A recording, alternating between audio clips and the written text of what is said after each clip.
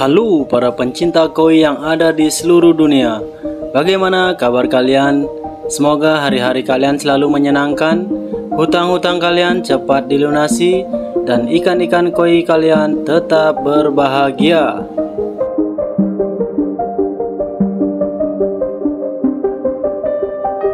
Pada video kali ini, saya akan mengulas tentang apa sih yang dimaksud dengan kolam koi mature Sesuai dengan pengalaman selama saya mengamati perkembangan kolam koi dari awal hingga air kolamnya menjadi mature, bisa saya simpulkan bahwa kolam koi mature adalah air kolam yang sudah sehat, aman untuk ikan-ikan koi yang kita pelihara karena air kolam yang sudah mature sudah mengandung oksigen terlarut yang sangat tinggi.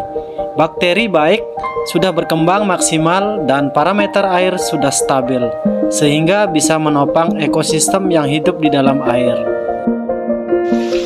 Saya akan memberikan contoh wujud dari air kolam yang sudah mature pada kolam koi saya guys.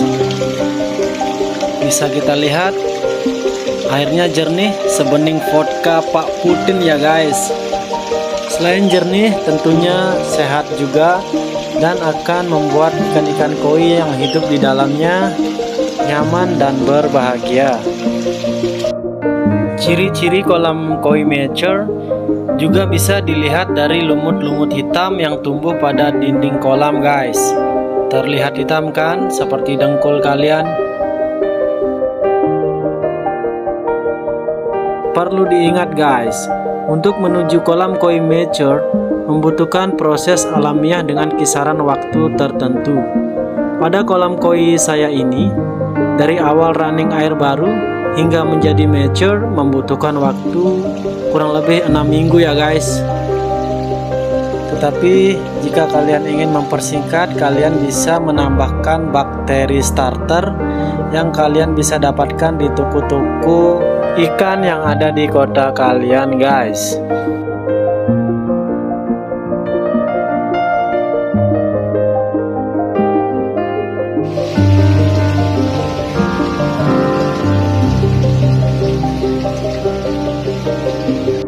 Dalam proses menuju air kolam yang mature, sangat tidak disarankan untuk memberikan pakan secara berlebihan ya guys.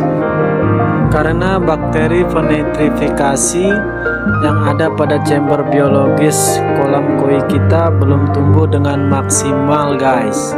Bakteri penetrifikasi inilah yang berfungsi untuk menetralisir racun yang dihasilkan dari feses ikan dan sisa-sisa pakan yang tidak termakan oleh ikan koi.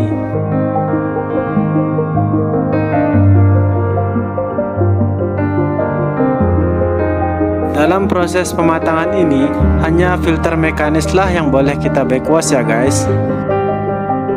Dan filter mekanis ini alangkah baiknya di backwash sesering mungkin dan jangan pernah membackwwash filter biologis dikarenakan dapat mengganggu perkembangan bakteri-bakteri baik yang sedang mengalami proses perkembangbiakan pada chamber-chamber biologis kita.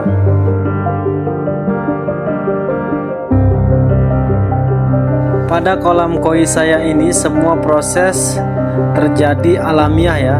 Saya tidak pernah menggunakan obat-obat seperti bakteri starter dan sejenisnya guys.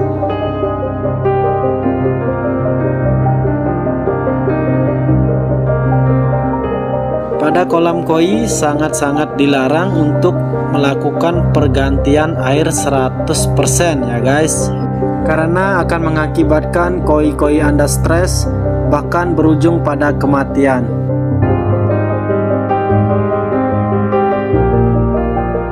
Cukup yang saya lakukan pada kolam koi saya Setiap dua atau tiga hari sekali saya melakukan dripping air baru ya guys. Menambahkan air baru 10 hingga 15% dari volume kolam saya ini guys. Dan itu rutin saya lakukan hingga saya mendapatkan air yang sehat dan jernih dalam proses pemecuran kolam koi ini dibutuhkan kesabaran tingkat tinggi ya guys. Biarkan semua berjalan secara natural. Yang terpenting kita tetap melakukan perawatan secara rutin.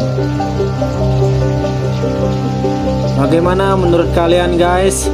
Silahkan kalian diskusikan di warung tuak Pak Dewa Dadut Karangmanggis.